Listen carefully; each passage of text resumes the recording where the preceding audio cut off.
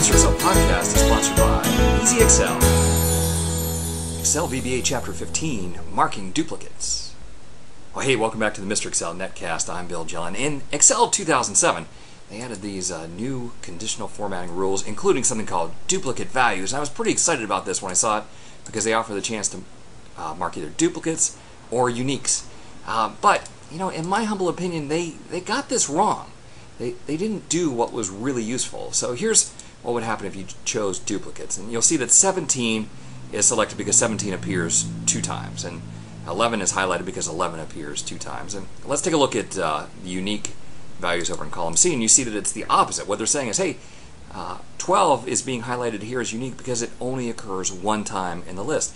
But to me, this is not really the list of unique values. What we really want for unique values is we want the first 17, the first 11, the first 7, but not the second 7. And neither of those built-in items uh, will do what we want. What we really want is uh, what I call wishful thinking over here. Uh, I have a little macro to do that. In wishful, uh, the first 17 is highlighted because that is a unique value, that 17. The second 17 isn't because it's a repeat. Uh, 11, 7, and so on. And so in this case, the red cells are the complete list of truly every value occurring once, which I think is really what we need. Now, to do this is much harder than just choosing duplicates. Uh, we have to use a formula version, so we say use a formula to determine which cells to format.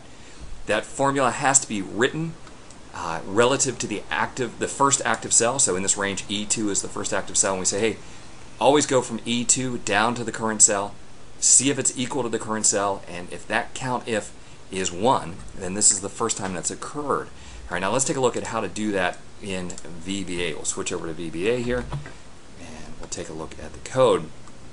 So, whereas the first two uh, were pretty easy here just using dupe unique equal to XL duplicates or dupe unique equal to XL unique, uh, to do the one that I think is actually useful, uh, we have to do where we're adding a condition as an expression and then pass an argument of formula 1. That formula has to be the same formula that we would set up. So again, relative to the very first cell here, E2, this, this formula has to refer to uh, a formula that will work in E2. Now they'll replicate it, and because I used a clever use of dollar signs here and no dollar signs, uh, it will uh, change as we go down through the, the various cells. But uh, to set this up in VBA, um, you know, certainly a little bit easier, uh, perhaps, than figuring it out every time uh, to get that in there as a macro.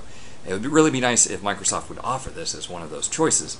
Uh, you know, I don't know what they would call it. Uh, maybe they call it Bill Jelen unique or something like that. You know, who knows? Or useful unique, or I don't know. I mean, but you, you get the point here. We're, we're trying to get a list of every item, uh, but only one of every item, not the second, not the third.